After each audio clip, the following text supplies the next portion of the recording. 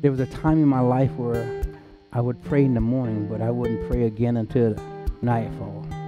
Not knowing some of the struggles that I was in, God was looking for me to come to Him during those times. But you know, being a Mr. Fix It, sometimes forget that God can and He will if we would just ask.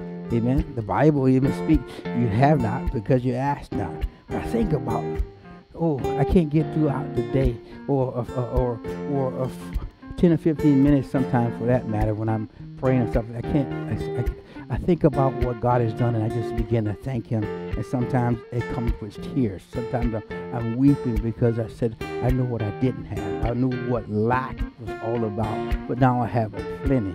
And now God has given me the ability to look at those that have lack and I'm actually uh, playing a role or playing a part in removing lack and bringing plenty. That's what it's all about. That's what having faith in your salvation is all about. Knowing that God has a, is not done with you because you have uh, um, succeeded. God wants you to have that success because now you're able to give what He has provided you as a gift unto Him.